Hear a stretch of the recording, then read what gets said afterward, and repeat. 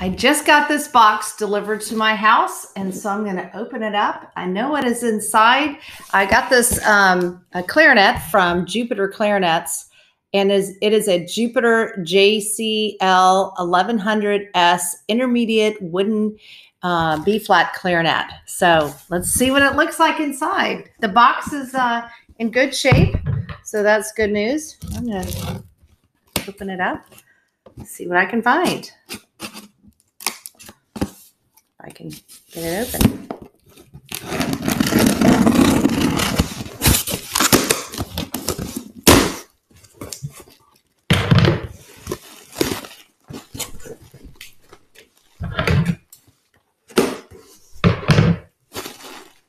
All right. Nice um, uh, bubble wrap in here. Keep it safe. Remove that.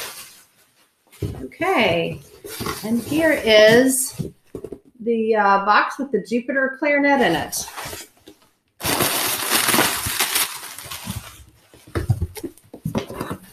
I like the way it is shipped.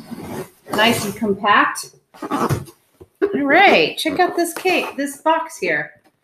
It's a nice box, nice and sturdy. Okay.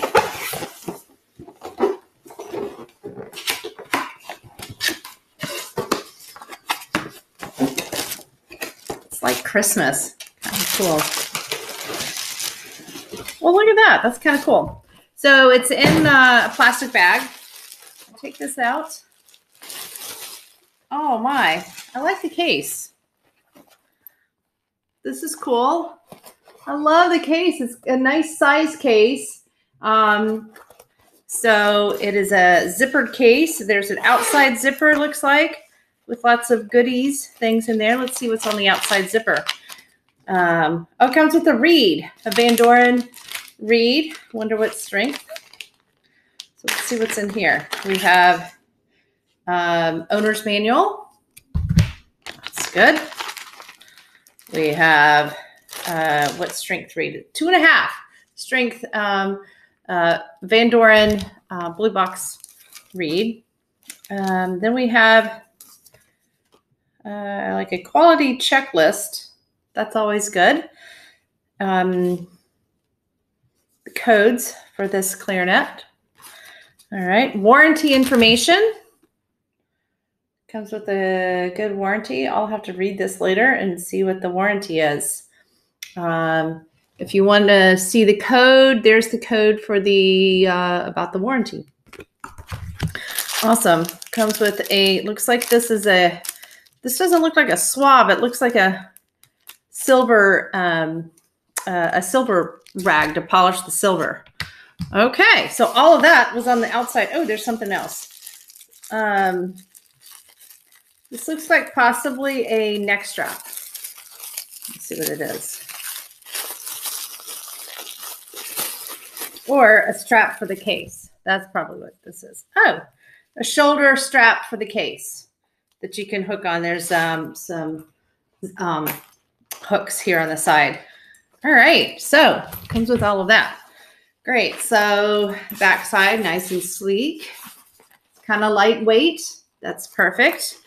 Um, handles here have nice little um, snaps. Okay. Oh, look at this. So there's a zipper on the outside of the case, a bigger zipper that you can put uh, pencils in here. You could put maybe your swab, your uh, reed case, cork grease, things like that that you'll need. Um, that's awesome. Okay. So the case looks like it's well made too. Okay. So now I'm going to zipper the inside. Oh, okay. So check this out. Uh, it is a like a French style case. So it's a case inside this zipper. Um, so very sleek look to this case, the leather case that this comes in. So, and it just fits right inside. Move my camera down. Fits right inside uh, the outside case there. So that's cool. All right, well, I'm impressed so far. We'll see how it plays. All right. So here's how it looks when I open it up. So everything is bagged individually. All right, Silver Saver. So this tells me that it has silver keys on it. For a student instrument, that's really important. A lot of times they have um, uh, nickel keys, and so this has silver silver plated keys. So that's that's really a nice bonus. Okay, so let's start getting all the pieces out. I see that the tenons have a silver ring on it. That's that's really nice. Um, makes it last uh, longer and protects it, uh, protects those tenons. Okay. Again, the tenons are covered. What else do I see here? I see, ah, there is a, a E flat key on the left. That is amazing. I normally don't see those on, on student clarinets. Pretty cool. And there is an adjustable screw right here for the FC key. This tends to go uh, out of place a lot on clarinets. So the fact that you can just adjust it with the screw is um, such a big bonus. Again, I don't see that a lot of times on these clarinets. So, all right, let's get the next piece out. Looks nice so far. Wood is in good shape. What do we have here? So again, the tenons have the silver uh, on the end of them. Oh, this is cool. They have a, um, a raised, the C key, the CG hole. I don't know if you can see it uh, there, but it is, there's um, a, a raised piece that's on that because a lot of times this is the only hole that finger the finger has to cover without a key going around it and or a ring going around it. So a lot of times that that's where um, students have a problem um, sealing that especially if they have smaller hands. Well that's kind of neat thing. Yeah. Oh i also see that the thumb the register key is at an angle. So this is designed to make it fit your hands better. Um, so you can you can get to the register key without um, like changing the angle of your of your thumb. Um, I kind of like that, especially for younger students that have smaller hands and can't quite reach everything. This is this is great, so that it will give them really good hand position. All right, so let's keep going. So I saw on their website that they have a custom barrel. Um, all the tenons, I mean, all the uh, tone holes also are are um, um, have been um, hand um, shaped in there, so they're um, tapered tone holes. Um, all right, barrel looks really nice, and it is a 65 inch barrel, which is what I've played on for many years. It's standard to have a 66, so it's just one millimeter shorter, uh, which is becoming more standard. It gives the the student more um, space to adjust their pitch. Also, okay. So one last piece is the mouthpiece. All right, lots of little plastic bags here. So the mouthpiece comes with a cap, nice cap. All right. Uh, ligature. The ligature is just a standard silver ligature with the screws on the front where the reed is. So a student might want to upgrade to another um, ligature, which is really common. I would I always have my students upgrade with whatever comes in stock. All right. Don't know anything about the mouthpiece, uh, about the design of the mouthpiece, but we'll see. I'm going to play on this clarinet with my um, with my mouthpiece, with this one, and then with my mouthpiece.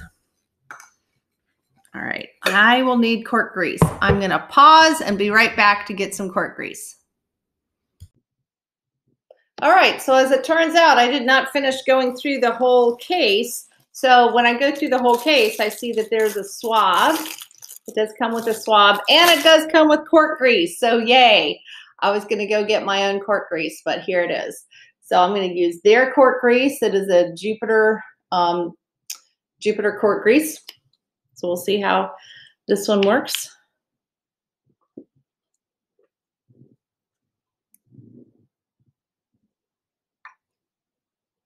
Of course, I'm going to have to put a lot of cork grease on because this is a brand new clarinet. Rub that in.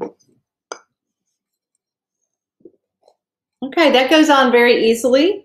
Nice connection. I'll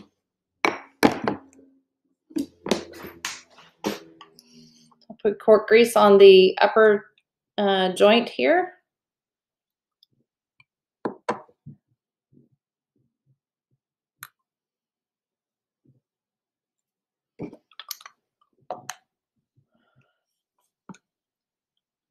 Ah, that went together very well as well. Um, so the um, the bridge key here looks pretty standard. Um, it's easy to line it up. Okay, here we go. So I'm put a barrel on, and last piece, the mouthpiece. Like I said, I'm going to try it with their mouthpiece, and then I'm going to try it with my my own.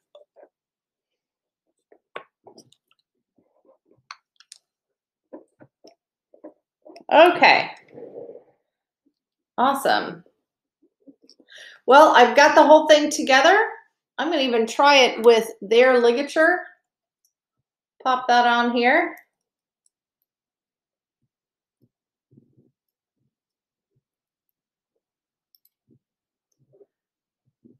I'm going to grab a mouthpiece patch just so I don't scratch their mouthpiece.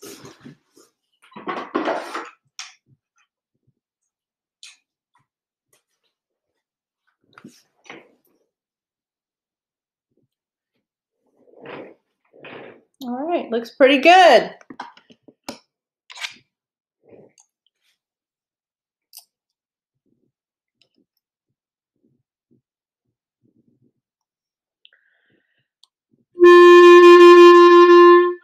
Right away, the response is pretty good. I just was playing open G, good sound.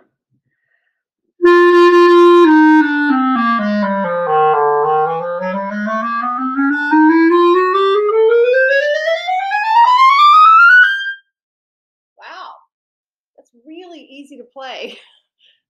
Very easy to play.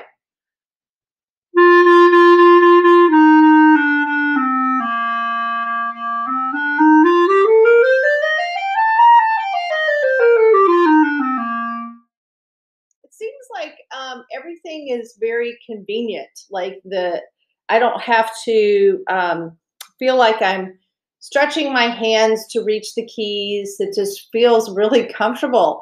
So I'm thinking a student that has um, smaller hands would really like this, especially this um, addition that they made on this tone hole for the CG um, note. It, it's it feels really nice that it's raised um, and uh, makes it easier to cover that.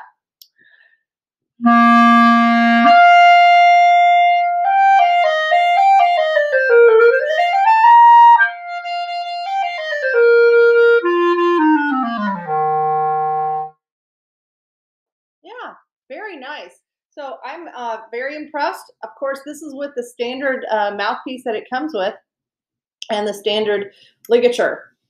I'm going to check pitch, see how the pitch is.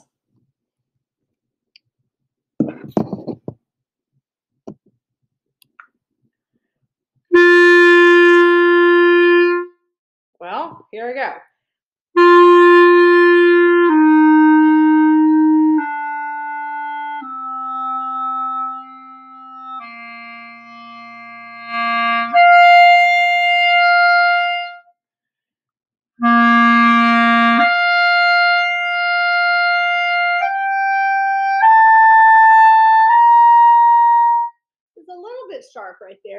Could be um, me just getting used to this.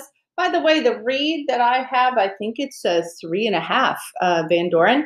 So I did not play it with the two and a half that, that, that it came with.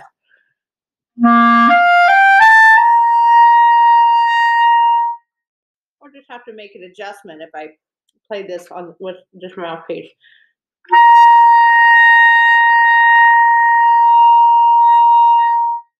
Just felt like I did an even further of a stretch with my embouchure, ooh, or not, and was able to get it in tune, which is the way your mouth should be anyway when you're playing. So um, I don't feel like I have to make any kind of adjustments um, that are uncomfortable um, to to make this play in tune. I think that the tone is really pretty for what I'm um, what I've hear, heard so far.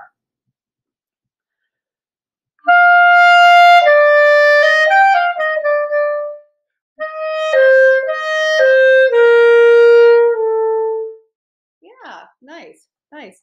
So let's try this the E flat on the left.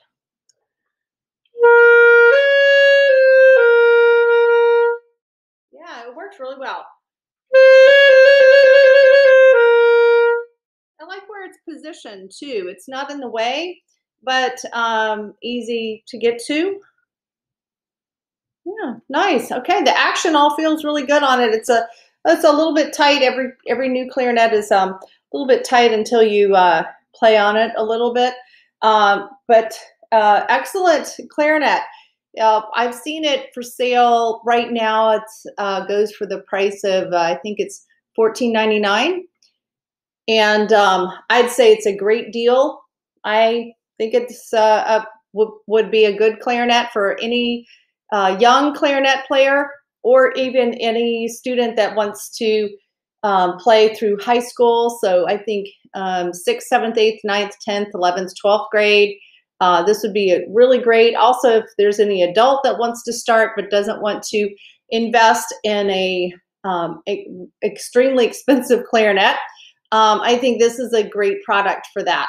So um, check it out. Again, it's the Jupiter JCL 1100S and um, sounds really great. I'm going to stop the video and I'm going to get my mouthpiece on and see if there's a difference in the sound. All right, so I'm back. I put my mouthpiece and ligature on here, and I'm just curious to see how it plays with this.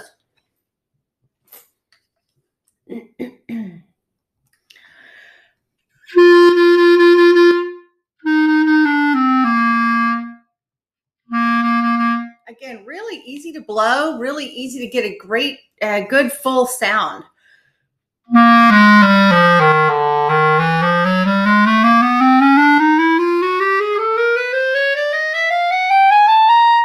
I like about it's consistent. It's very consistent through the registers.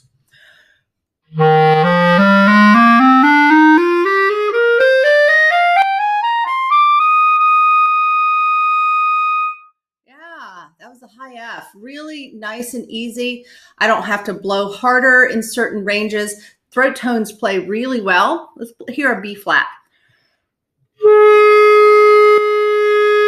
So I'm playing that without any resonant fingerings. Let's see how the B flat plays in tune without anything down. Of course, this is on my mouthpiece as well. So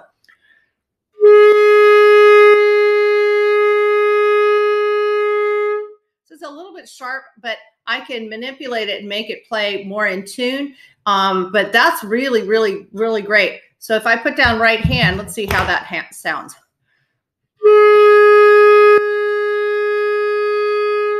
Yeah, that was right in tune. So the throat tones are nice and clear, especially that B flat. Sometimes on clarinets, it can get real stuffy. So I don't hear any stuffiness in there.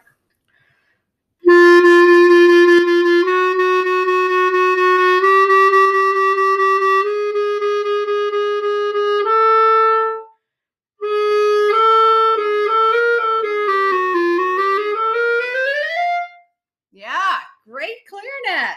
So I uh, I recommend it. I want to hear from other people. If there's other people out there that own this clarinet, I want to know what you, what you think of it.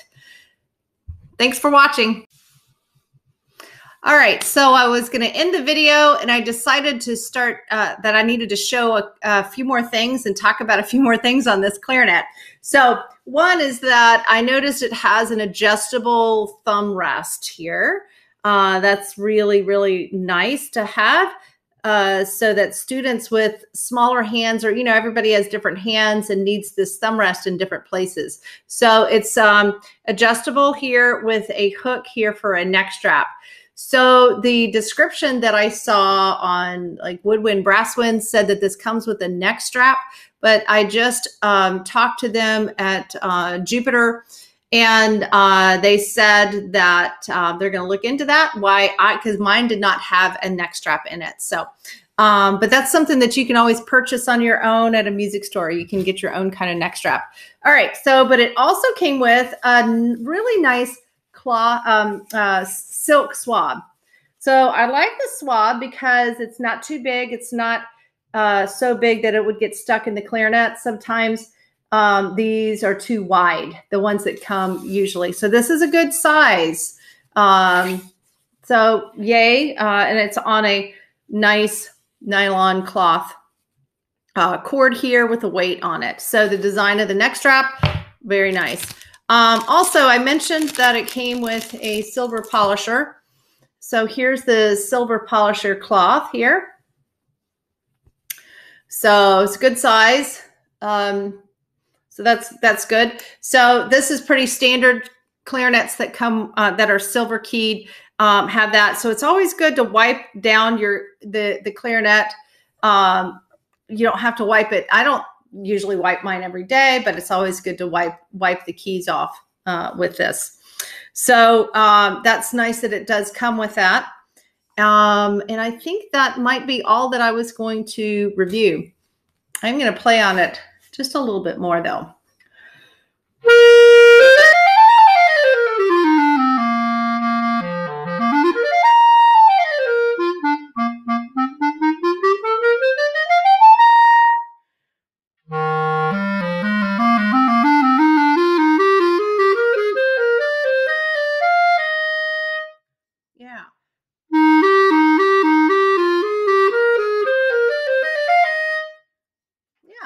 So I mentioned like the thumb rest or the the uh, register key, how it the shape is different um, to fit hands. Uh, also, that like the A key seems like it's conveniently located um, and easy to press. I didn't really talk about the side keys. Let's see how side keys do.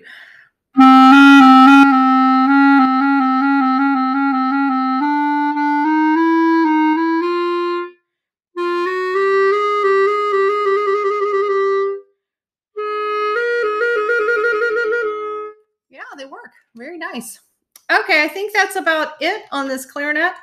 Um, so I again, I want to hear from other people. If you have this clarinet, uh, I want to know what you think about it. And if anyone else that's interested, reach out to me and I um, will answer your questions. Thanks. Bye.